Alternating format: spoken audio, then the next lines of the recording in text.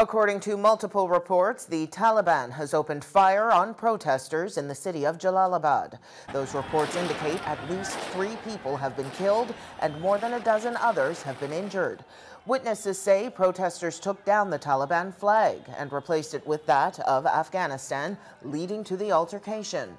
Local reports state the Taliban has been replacing Afghan flags across the country, which has angered some local residents. However, this is the first report of protesters taking action.